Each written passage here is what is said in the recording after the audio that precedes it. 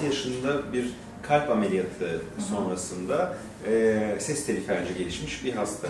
Ses teli siniri kalbin etrafından geçtiği için kalp ameliyatlarının özellikle sol ses telinin sinirlerinin zarar görme ihtimali mevcut. Onda bu ameliyatta ne yazık ki ses teli felci gelişmiş. Ameliyattan sonrasında da bu ameliyatın yarattığı bir ses kısıklığı problemi olmuş.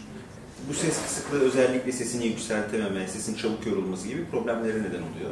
Hastamızda da bu problemler varmış. E, hastamız şu anda 20 yaşında ve bu ses teli felci problemi için e, bizim hastanemize başvurdu. Hastanemizde de bunu yaptığımız değerlendirmede ses teli sinirinin e, hiç aktif olmadığını e, doğruladık. Boyundan girerek yaptığımız bir değerlendirmeydi ve onun bu bahsettiğimiz sinir taşıma ameliyatının bir adayı olduğunu bu şekilde doğruladık. Yaşının genç olması da bunun için ona bir fırsat sağladı. Biz ameliyatla boyundan girerek, boyundan küçük bir açıklıktan girerek boyunda normalde çok fazla görevi olmayan, önemli görevleri olmayan hı hı. kaslara giden bir siniri alıp bu siniri ses telinin sinirine dikerek bu ameliyatı yaptık.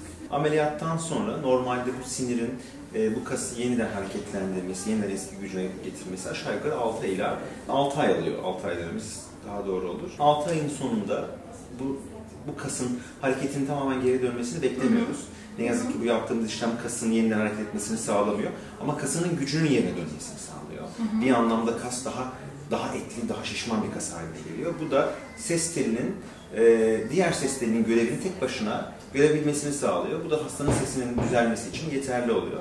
Bu, bu süre içerisinde hastamızın sesi kötü olmasın, hani iyileşme sürecinde sesi iyi olsun diye biz eş zamanlı olarak bir ses teli dolgusu da yaptık. Ses teli dolgusunun etkisi aşağı yukarı 6 aylık. Onun etkisi geçtiğinde yaptığımız esas sinir taşıma ameliyatının etkisi ortaya çıkacak. Böylece e, ameliyatımızdan itibaren sesi e, düzelmiş olacak hastamız. Ses teli felcinin bir sürü nedeni var bahsettiğimiz gibi. Bu nedenlerin ne olduğu, hastalığın ne kadar süredir var olduğu, hastanın yaşı, sigara içip içmediği veya e, şeker hastalığı gibi, tansiyon gibi başka hastalıkların olup olmadığı bizim bu ameliyatı yapmamızdaki önemli karar verici şeyler.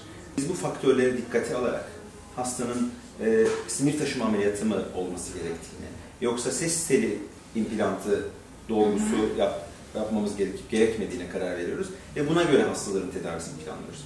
Ses teli felci tedavi edilebilir bir hastalık ve bu tedavi için doktorlara başvurmak lazım. Bunun farklı bir sürü tedavisi için elimizde mevcut.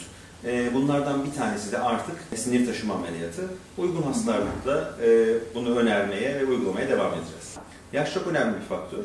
Çünkü e, çocuk yaşlardayken ve gençlik yaşlarında vücudumuzun iyileşme hızı çok daha fazla. Ve sinirlerin iyileşmesi için de, sinirlerin kaynaşabilmesi için de yaşın mümkün olduğunca küçük olması gerekiyor. Çocuk hastalar ve genç hastalar, özellikle sigara içmeyen genç hastalar bunun için en önemli etken.